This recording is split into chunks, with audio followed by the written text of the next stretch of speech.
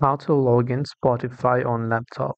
Now, if you want to log into Spotify on laptop, it's very simple. You can download the Spotify app from Microsoft Store, or you can also simply open your browser and go to Spotify.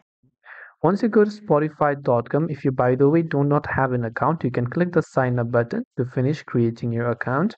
Otherwise, you can just click on the login button from the top right hand side of the screen.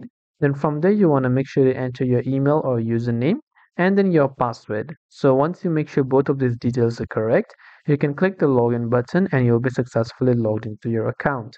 Now, in case you happen to forget your password, you can click on the forgot your password button right there in order to reset it.